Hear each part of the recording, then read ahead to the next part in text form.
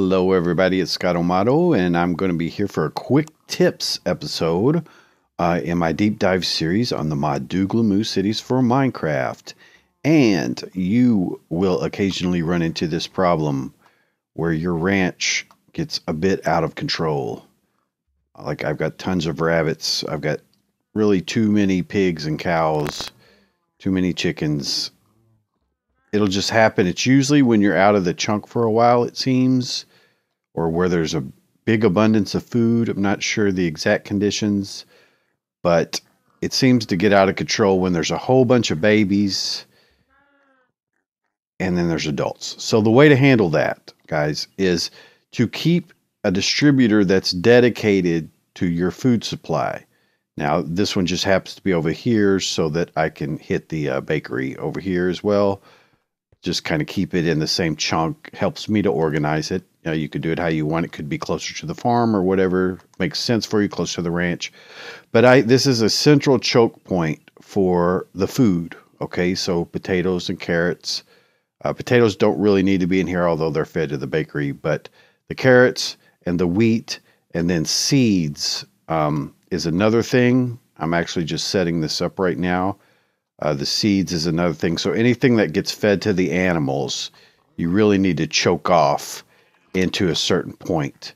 Uh, and then that way you can control the food supply that's going into your uh, farm there or into the ranch.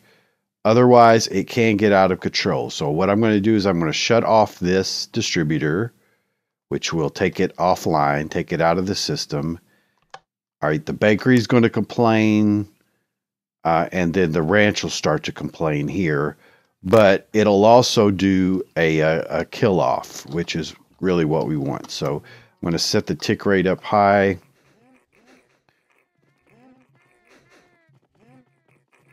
And we'll let it all process. Let's see, there was a rabbit kill off already.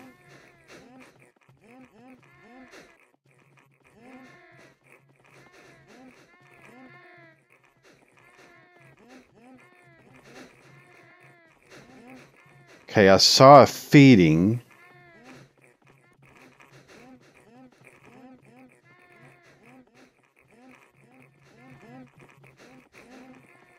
It's taken a while. They're growing up.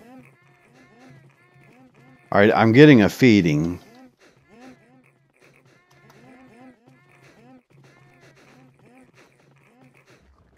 All right, so let, let's figure out how they're getting fed. They can't pull directly from the farm, so a distributor has some items. The warehouse must be doing or providing. Yeah. So that's what's going on. The warehouse is actually providing. In this case, they're asking for it. Yeah. So we have to take that offline too. Um, that's just a thing. You could see that it may be easier in some cases to just go ahead and manually handle it? Because again you do end up changing quite a bit. But you know you're just going to have to do it. I saw there's a, a rabbit culling i guess is the right phrase. Um looks like yeah the ranch is now complaining. Okay so you could see now how the the the warehouse did a fallback, so these guys can ask from the warehouse. That's an important thing to realize. Uh, is yes, these can request directly from a warehouse without an intervening configured distributor. That distributor's offline. Okay, so our rabbits are under control now. Let's just wait for the the culling of the cows and the pigs. The warehouse itself, the warehouse block should work with a lever as well to where you could have just toggled it offline rather than remove the items. Uh, but I just wanted to be sure that that's what was happening, that, that I could pull them out. Okay, there we go. So there's the pigs. Yeah, chickens. Okay, so, or there was the cows, I mean. So we're waiting on the pigs now just to be handled and there's just too many of them and it happens under certain conditions. You'll see it, and uh, something like that can slow down your world with too many entities, uh, and, and just the sheer noise level and all that. So the ranch is complaining, starting to a lot now because it's it's funny that's asking for wheat, but it doesn't actually have any cows that it can breed. They're all babies. Um, but I guess it just requires it. Come on, piggies. Got to get this done. You're making my video longer than I want it to be.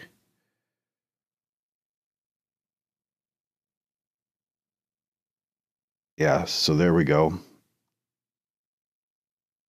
Okay, so that'll probably put us in pretty good shape. Uh, we could let this next set grow up. That's kind of what we're waiting on is the babies to grow up. And you could see that as we predicted, the bakery is complaining and the uh, ranch is complaining because they're the ones that require the food that we took offline. Okay, so let's had another group on the rabbits. Um, it's kind of fun to watch at this fast speed. Uh, once again, guys, I'm just trying to to demonstrate the point.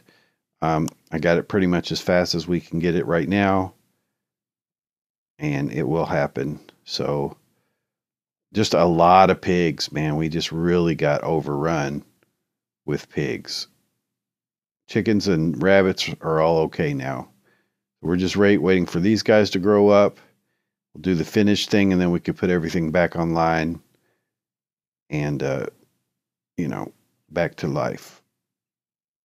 Think we're getting better. I think one more after they grow up and we should be in good shape.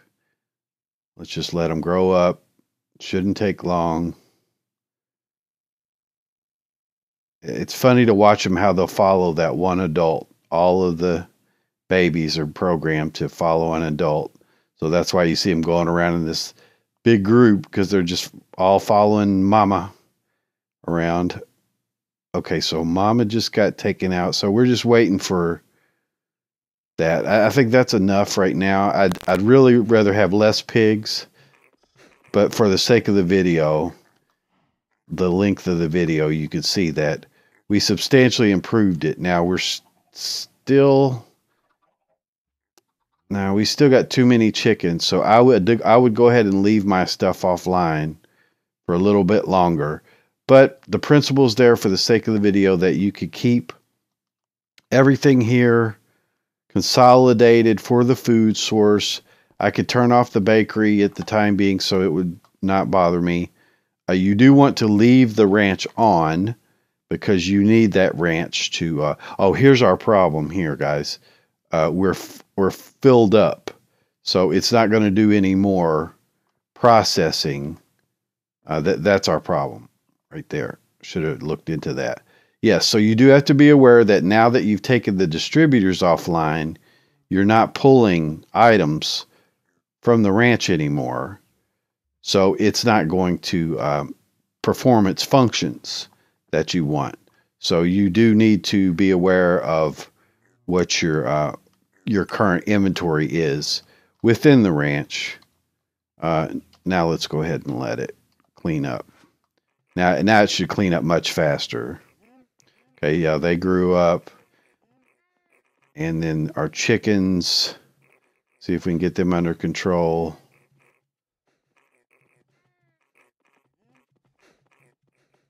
Uh, I think the carpenter, I have to look at that. Is all right. There we go. Now let's see if we get the chickens cleaned out. Most of them are still babies. There's just a lot of chickens too. There we go. There's one. So we're just basically waiting for the little guys to grow up. And then we'll clean that out. So it can do it automatically. It can clean for you. You just have to uh, you know, allow for the, the, the technique that we have here. So I'm just kind of waiting on that because I would like to get everything back online and, uh, you know, we might as well do it in the video. Come on, guys, grow up. they're being fed. I just saw them being fed. Um, yeah, you got to watch your choke points. Let's see. So chickens, what's what's feeding them? Uh, see, there's a seed in the distributor right there. So that's the thing, guys. You got to watch and clean out. Got to be thorough.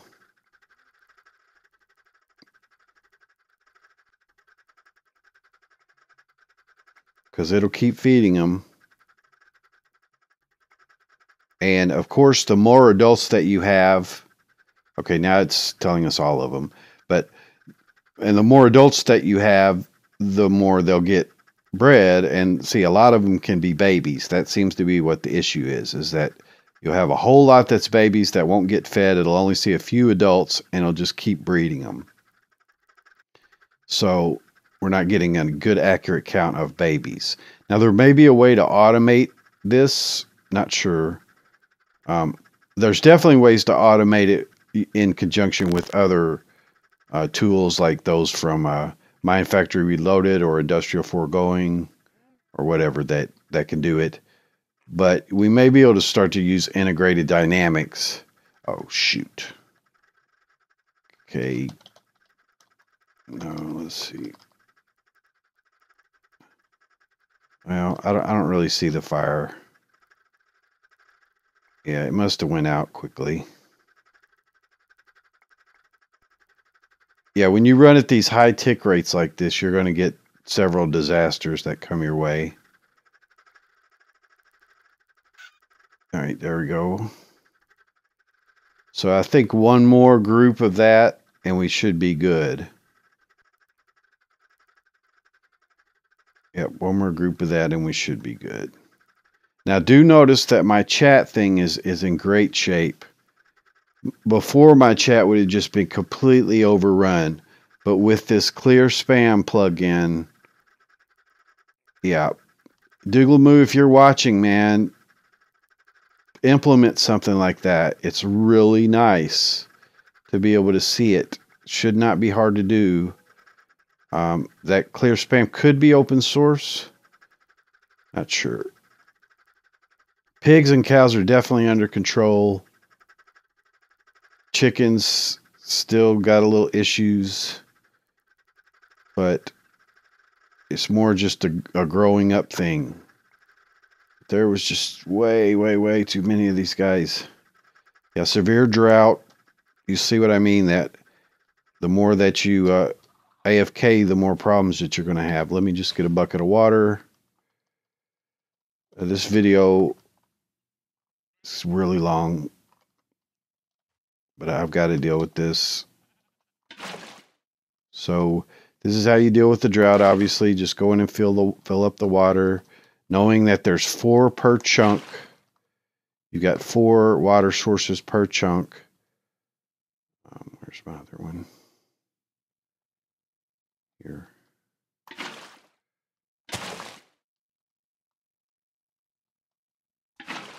And then the two down here. So not not a big deal, but and then the the fire I guess never got anywhere. And I you know I got these tall trees that can bleed over into an area that you got to get rid of.